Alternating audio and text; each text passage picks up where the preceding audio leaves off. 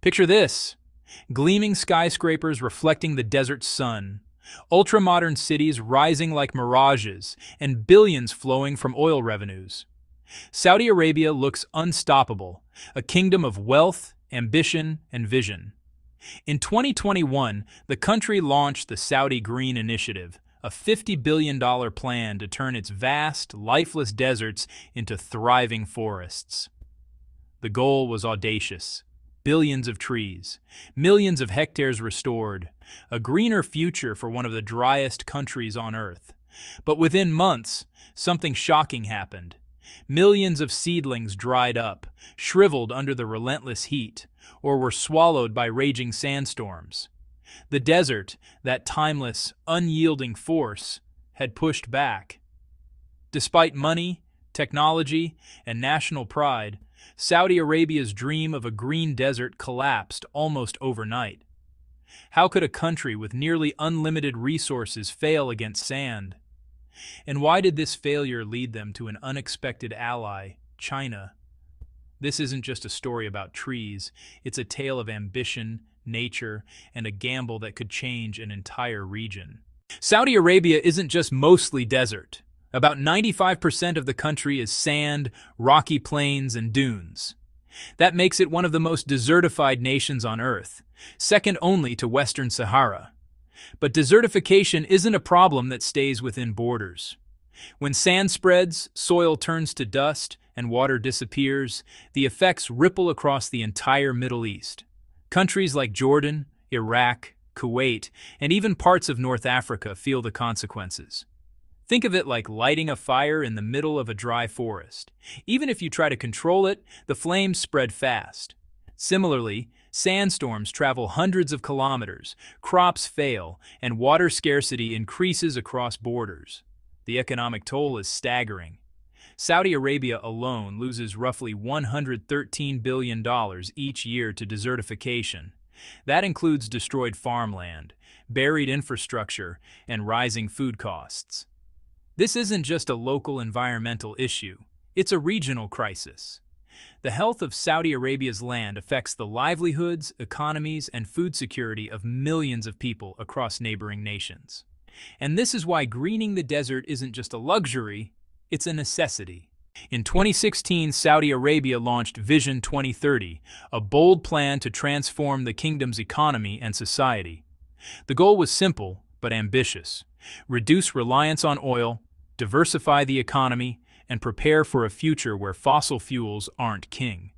But Vision 2030 wasn't just about money, it was also about image, innovation, and sustainability. A centerpiece of this vision was greening the desert, Planting forests, restoring degraded land, and creating natural reserves became symbolic of Saudi Arabia's ambition. It wasn't just environmental pride, it was economic strategy and national identity.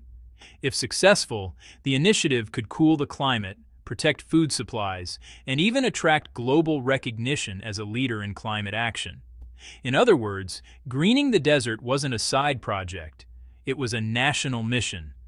Success would show the world that Saudi Arabia could combine wealth, technology, and environmental responsibility to tackle one of the toughest challenges on Earth, turning barren sand into life.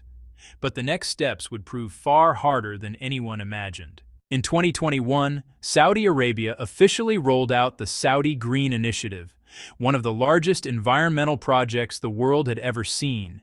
The plan was staggering, plant 10 billion trees, restore 40 million hectares of degraded land, and turn 30% of the country into protected natural reserves. The first phase alone aimed to plant 450 million trees across the kingdom. Billions of dollars were invested in nurseries, irrigation systems, and infrastructure to support this vision. Satellite mapping, land preparation, and scientific studies were all part of the rollout. The message was clear. Saudi Arabia wanted to prove it could fight climate change, reclaim its deserts, and reshape its future. The scale of the initiative was breathtaking, the stakes enormous. A failure wouldn't just be an environmental setback, it would be a national embarrassment visible to the world. Every tree planted carried the weight of billions of dollars, years of planning, and the kingdom's global reputation. Yet despite all the resources and planning, nature had its own plans. Almost immediately, the Saudi Green Initiative ran into the harsh reality of the desert. Summer temperatures regularly soared above 43 degrees Celsius, baking the ground and scorching newly planted seedlings. The land itself, dry, rocky, and inhospitable, just refused to cooperate. Within days, many of the 450 million saplings wilted and died. Then came the winds. Powerful desert gusts tore through planting areas, uprooting young trees and burying others under layers of shifting sand. Even the kingdom's vast oil wealth couldn't solve the biggest problem, water scarcity. The project required massive, continuous irrigation, but local water reserves were just not enough to keep millions of trees alive. In just a few weeks, what had been years of preparation and billions of dollars in investment seemed to vanish. The dream of green forests turning the desert into life-supporting land was crushed. Saudi Arabia had learned a harsh lesson. Ambition and money alone cannot conquer nature. The desert had fought back and won. The collapse of the Saudi Green Initiative wasn't just a setback for the environment. It sent ripples across the economy and society. With forests failing to grow, farmland remained vulnerable to encroaching sand, making food production even more precarious. Saudi Arabia, already dependent on imports for much of its food, became more exposed to global supply shocks and rising prices. Infrastructure also suffered. Roads, pipelines, and buildings risked being buried or damaged by shifting sands, while water shortages worsened. The social impact was equally serious. Communities that had hoped for jobs in tree planting, land maintenance, and environmental projects saw opportunities vanish. This failure highlighted a stark reality. Desertification isn't just a local environmental problem. It's geopolitical, economic, and social. Millions of people depend on the land, and when it degrades, the consequences spread across borders and industries. Saudi Arabia's struggle made it clear, tackling desertification requires more than ambition and money. It demands expertise, technology, and strategy. Facing the failure of its ambitious green plan, Saudi Arabia confronted a choice, abandon the dream, or find the knowledge to make it work. That's when attention turned to an unexpected partner, China. Why China? Because for decades, China had been battling some of the harshest deserts on Earth, like the Gobi Desert, and succeeding. Through long-term planning, advanced techniques, and sheer scale, China transformed barren land into green belts, farmland, and thriving ecosystems. Unlike Saudi Arabia's initial attempt, China had proven methods to turn hostile sand into sustainable soil. For Saudi Arabia, the decision wasn't just about trees, it was a strategic gamble. Partnering with China offered expertise, technology, and experience that money alone couldn't buy. It was a bold move, showing that even the wealthiest nation sometimes needs to learn from the world's desert experts to succeed. This partnership would mark the turning point in the kingdom's green journey. In 2024, Saudi Arabia and China sealed a $50 billion strategic cooperation agreement, a massive commitment to turn failure into success. The goal was clear, bring China's advanced desert control technologies, expertise, and infrastructure to Saudi Arabia, and revive the 10 billion tree plan. This wasn't just about planting trees anymore. It was a science-driven, international effort Chinese experts promise to help transform 30% of Saudi desertified land into green space by 2040. New irrigation systems, soil restoration techniques, and climate-adapted plant species would be implemented on an unprecedented scale.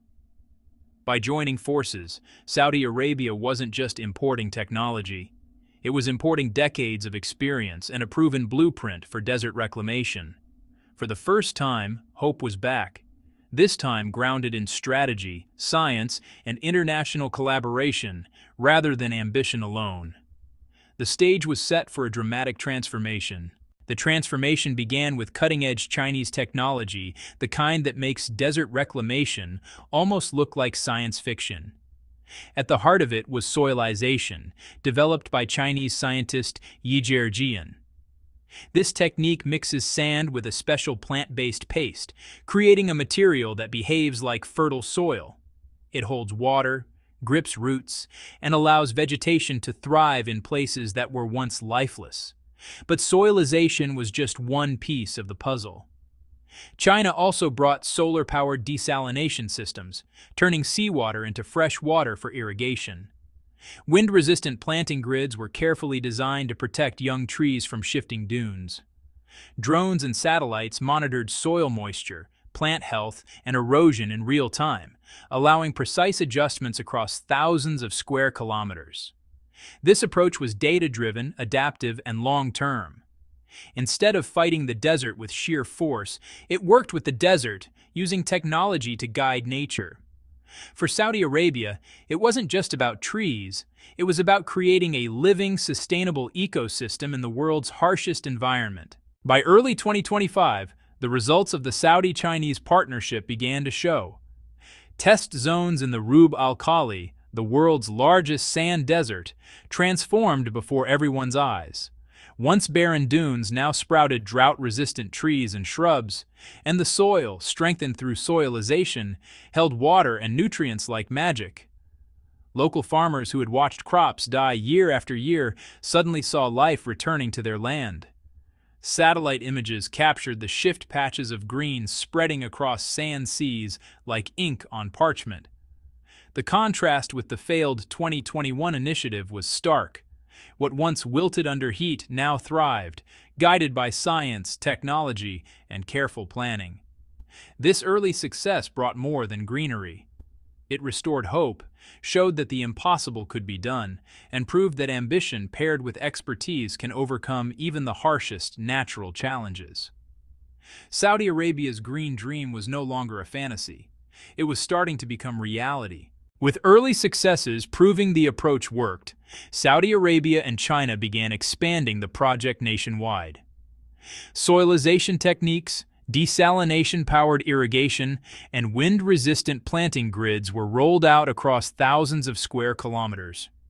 Carefully selected, drought-resistant tree species were planted in patterns designed to slow desert creep and create microclimates that could eventually support agriculture and wildlife. Monitoring became central to scaling. Satellites, drones, and sensors tracked soil moisture, plant growth, and erosion in real time, allowing teams to make precise adjustments and ensure survival rates far higher than before. This wasn't random planting, it was strategic ecosystem engineering. The long-term vision was ambitious, transform 30% of Saudi Arabia's desertified land into thriving green spaces, restore ecosystems, improve food security, and stabilize local climates. The project became a model for desert regions worldwide, proving that with technology, planning, and cooperation, even the harshest landscapes could be reclaimed. The success of Saudi Arabia's greening project didn't go unnoticed. Satellite images and on-the-ground results made headlines, turning the kingdom into a case study in desert reclamation. At climate summits and international forums, Saudi Arabia was praised for transforming failure into innovation and action. Beyond environmental recognition, the project became a tool for climate diplomacy. Saudi Arabia and China began exporting their desert control knowledge to other nations facing similar crises. Joint training programs, research centers, and technological exchanges extended their influence across the Middle East and North Africa. What started as a national challenge turned into a global example of strategic cooperation. Local communities also benefited jobs in tree planting, maintenance, and technology-driven irrigation created opportunities, while education programs taught young Saudis to monitor soil and plant health using apps and drones. A failed initiative had become a story of rebirth, influence, and hope, proving that tackling environmental crises can also drive social and diplomatic progress. What once seemed impossible is now unfolding across the deserts of Saudi Arabia. With science, strategy, and global cooperation, barren sand is transforming into thriving ecosystems. The kingdom's story proves that even the harshest environments can be reclaimed, not by money alone, but by combining innovation, planning, and international partnerships. This isn't just about trees, it's about hope, opportunity, and leadership. Saudi Arabia and China have created a blueprint for survival in a century of climate extremes. Other nations facing desertification now have a model to follow, showing that environmental action can generate jobs, advance technology, and strengthen global ties. And for us, it's a reminder. Climate action isn't just about sacrifice, it's about possibility. If a desert kingdom can grow forests where nothing survived before, Imagine what's possible in other parts of the world. If this story inspires you, like, share, and subscribe, and help shine a light on innovations that are actually changing the world.